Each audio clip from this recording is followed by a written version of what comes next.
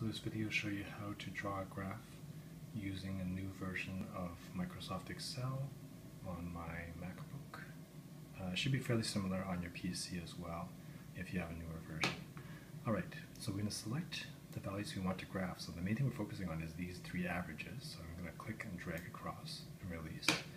And then I'm going to go to charts and tell them that I want a column chart clustered columns. Click on that. All right, and that gives us a graph that shows three means. So this is 1.6 for group A, 10.4 for group B, 9 for group C. Right, you can compare the means already. Uh, one problem is that the labels in the x-axis don't match the groups we want to name them. So what I'll do is I'll right-click, okay, or two-finger click if you're on a Mac, on the graph, and I'm going to go down to select data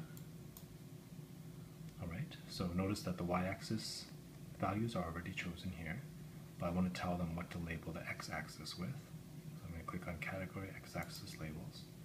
Right, I'm going to go up here and say, okay, I want the x-axis to say group A, group B, and group C.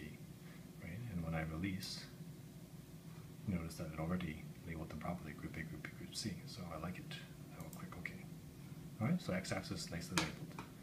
Um, next I want to add some error bars. Right, so if I click on the bar once, you'll see that all three bars are selected, meaning that this is the series that, or the set of data I want to add error bars to. And I'm actually going to right click it and go to Format Data Series, meaning I'm going to mess with this series of data.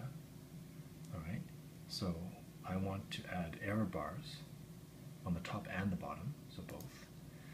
And I don't want it just to be this little line hanging off the end, I want to add a little horizontal cap on it as well. So select that as well.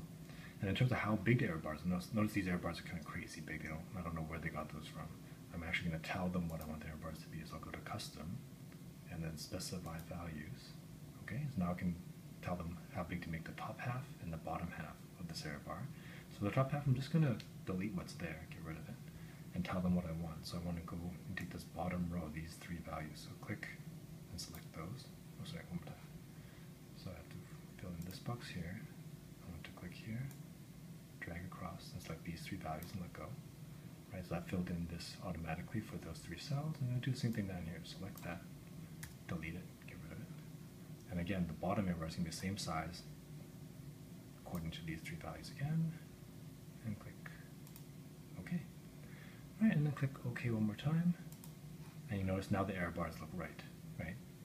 This error bar is bigger than this error bar. This error bar is bigger than this error bar. Alright, so you'll notice that this error bar is quite big because if you look at the group C data, it kind of jumps all over the place from 12 down to 7 to 9 and 10. Right, so that makes this error bar bigger um, than the others. This one's quite consistently around 2, which is why it's smaller.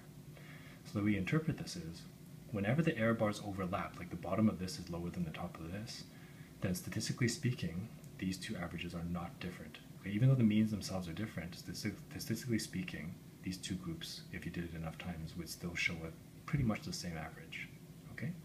Whereas if you find that the error bars do not overlap, like this one and this one, right, then you can say that they are statistically different. That 90, we're oh, more than 95% sure that this average is actually bigger than this average, which is a great result because if this is our negative control and this is our extract, right, we can say that we're 95% sure at least that the average zone of inhibition size for group C is actually bigger than the average zone of, zone of inhibition size for group A for the negative control, meaning that our treatment actually does something. And is statistically similar to group B, to our positive control. That's, as far as we can tell, as effective as ampicillin. Okay, so hopefully that helps. If you have any questions, feel free to contact me anytime. Thanks, and I will see you in lab.